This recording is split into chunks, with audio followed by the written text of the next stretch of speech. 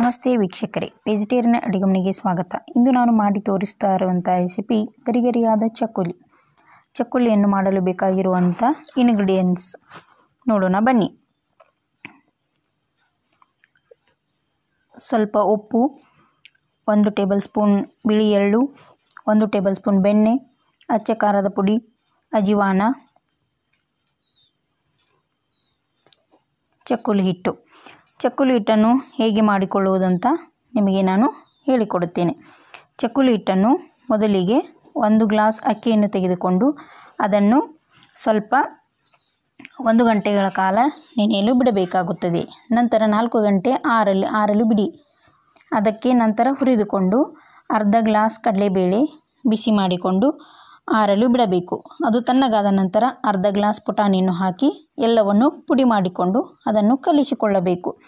ಕಲಿಸಿಕೊಳ್ಳಲು ಮೊದಲಿಗೆ ಹಿಟ್ಟನ್ನು ಹಾಕಿಕೊಂಡು ನಂತರ ಸ್ವಲ್ಪ ಉಪ್ಪು. ನಿಮಗೆ ಎಷ್ಟು ಬೇಕೋ ಅಷ್ಟು ರುಚಿಗೆ ತಕ್ಕಷ್ಟು ಉಪ್ಪನ್ನು ಹಾಕಿಕೊಳ್ಳಿ. ಅದಕ್ಕೆ ಒಂದು ಟೇಬಲ್ ಸ್ಪೂನ್ ಬಿಳಿ ಎಳ್ಳು, ನಂತರ ಅಚ್ಚ ಖಾರದ ಪುಡಿ ಒನ್ ಟೇಬಲ್ ಸ್ಪೂನ್ ಹಾಕಿಕೊಂಡು ಸ್ವಲ್ಪ ಅಜಿವಾನವನ್ನು ಹಾಕಿಕೊಳ್ಳಬೇಕು. ಅಜಿನ ಅಜಿವಾನವನ್ನು ನಾವು ಫ್ಲೇವರಿಗೋಸ್ಕರ ಹಾಕ್ಕೊಳ್ತಿದ್ದೀವಿ ಚೆನ್ನಾಗಿ ಸ್ಮೆಲ್ ಬರುತ್ತೆ, ಚೆನ್ನಾಗಿ ಕಾಣಿಸುತ್ತೆ. ನಂತರ ಒಂದು ಟೇಬಲ್ ಸ್ಪೂನ್ ಬೆಣ್ಣೆಯನ್ನು ಹಾಕಿ ಎಲ್ಲವನ್ನು ಚೆನ್ನಾಗಿ ಮಿಕ್ಸ್ ಮಾಡಿಕೊಳ್ಳಬೇಕು. ಅದು ಗಂಟು ಆಗತ್ತ, ಆಗದೇ ಇರೋ ಥರ ನೋಡಿಕೊಳ್ಳಬೇಕು. ಎಲ್ಲವನ್ನು ಮಿಕ್ಸ್ ಆಗೋವರೆಗೂ ಚೆನ್ನಾಗಿ ನಾ ಇದು ಮಾಡಬೇಕು. ನಂತರ ಅದಕ್ಕೆ ಸ್ವಲ್ಪ ನೀರನ್ನು ಹಾಕಿಕೊಂಡು ಹಿಟ್ಟನ್ನು ಕಲಿಸಿ ರೆಡಿ ಮಾಡ್ಕೊಳ್ಬೇಕಾಗುತ್ತದೆ.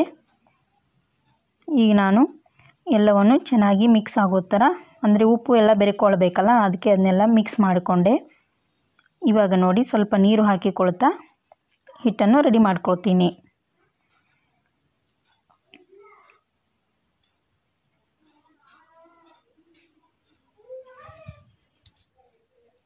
ವೀಕ್ಷಕರೇ, ಹಿಟ್ಟನ್ನು ಕಲಿಸಬೇಕಾದರೆ ನಿಧಾನವಾಗಿ ಕಲಿಸಿಕೊಳ್ಳಿ. ಅದು ಗಂಟು ಆಗದೇ ಇರೋ ಥರ ನೋಡಿಕೊಳ್ಳಬೇಕಾಗುತ್ತದೆ. ಮೆದುವಾಗಿ ಆಗೋ ರೀತಿ ಕಲಿಸಿಕೊಳ್ಳಬೇಕಾಗುತ್ತದೆ. ಈಗ ರೆಡಿಯಾಗಿದೆ ಹಿಟ್ಟು. ಅದನ್ನು ನಾನು ಚಕ್ಕುಲಿ ಮನೆಗೆ ಹಾಕುತ್ತಾ ಇದ್ದೀನಿ. ಚಕ್ಕುಲಿ ಮನೆಗೆ ಹಾಕಿ ಚಕ್ಕುಲಿಯನ್ನು ಈಗ ಹಾಕಲು ಶುರು ಮಾಡುತ್ತೇನೆ. ಈಗ ಚಕ್ಕುಲಿಯನ್ನು ನಾನು ಹಾಕ್ತಾ ಇದ್ದೀನಿ. ಅದು ಚಕ್ಕುಲಿ ಬಂತು ನೋಡಿ ಈ ರೀತಿಯಾಗಿ ಹಾಕಿಕೊಳ್ಳಬೇಕು. ಅದನ್ನು ಈಗ ನಾವು ಚಕ್ಕುಲಿ ಮಾಡ್ತಾ ಆ ಕಡೆ ಸ್ಟವ್ ಮೇಲೆ ಎಣ್ಣೆಯನ್ನು ಕಾಯಲು ಇಡಬೇಕಾಗುತ್ತದೆ. ಎಣ್ಣೆಯನ್ನು ಕಾದ ನಂತರ ರೆಡಿ ಮಾಡಿ ಇಟ್ಟುಕೊಂಡಿರುವಂಥ ಚಕ್ಕುಲಿಯನ್ನು ಅದರಲ್ಲಿ ಹಾಕಿ ಕರಿಯಬೇಕಾಗುತ್ತದೆ. ಈಗ ಎಣ್ಣೆಯನ್ನು, ಎಣ್ಣೆಯಲ್ಲಿ ನಾನು ಚಕ್ಕುಲಿಯನ್ನು ಒಂದೊಂದ ಹಾಕ್ತಾ ಹೋಗ್ತೇನೆ. ಅದು ಕರೆದ ನಂತರ ನೋಡಿ ಈ ರೀತಿಯಾಗಿ ಕರಿತಾ ಇದೆ. ಚೆನ್ನಾಗಿ ಬಬಲ್ಸ್ ಬರಬೇಕು. ಅಂದರೆ ಅದು ಒಳಗಡೆ ಹಿಟ್ಟೆಲ್ಲ ಚೆನ್ನಾಗಿ ಕರೆದಿರುತ್ತೆ ಅಂತ ಅರ್ಥ.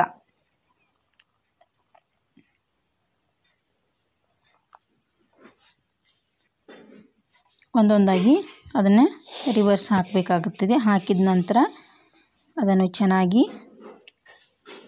ಕರೆದಿದೆ. ನೋಡಿ, ಈ ರೀತಿಯಾಗಿ ಚಕ್ಕುಲಿ ರೆಡಿಯಾಗಿದೆ.